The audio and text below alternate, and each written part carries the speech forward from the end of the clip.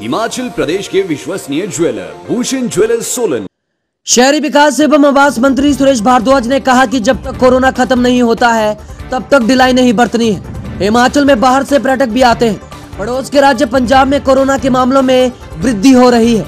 साथ ही अन्य राज्यों में भी मामले बढ़ रहे हैं। ऐसे में हिमाचल में कोरोना को रोक पाए, इसलिए कड़ाई की जानी ज़रूरी है। लोग मास्क का प्रयोग ज़रूर करें। उन्होंने कहा कि कोरोना वैक्सीन की डोज के बाद भी मास्क पहनना ज़रूरी है। पीएम नरेंद्र मोदी ने भी कहा है कि दवाई भी और कड़ाई भी। कोरोना वैक्सीन का इफ़ेक्ट 42 दिन के बाद होता है। कंपनियों के अनुसार दवाई का इफ़ेक्ट पचानवे फ़ीसदी ही है। ये कम भी हो सकता है। इसलिए जब तक कोरोना खत्म नहीं होता है, तब तक ढिलाई नहीं बरतनी है।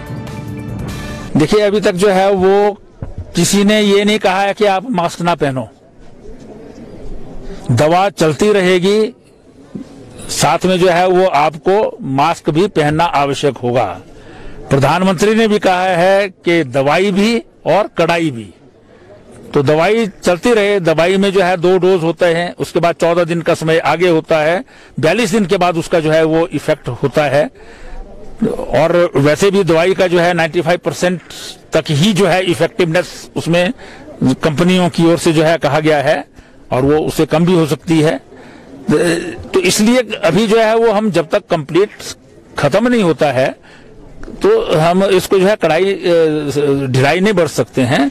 इसलिए कम से कम मेरा निवेदन है सभी से कि हम मास्क के बगैर ना चलें। मास्क जो है वो कंपलसरी है और मास्क पहन करके ही हम जाएँ।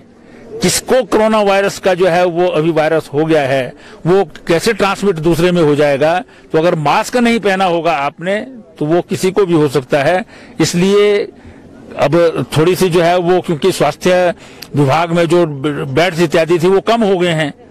अब अगर संक्रमण होगा तो लोगों को दिक्कत ज़्यादा होगी। इसलिए अपनी जो, जो है बचाव जो है हर व्यक्ति स्वयं करे।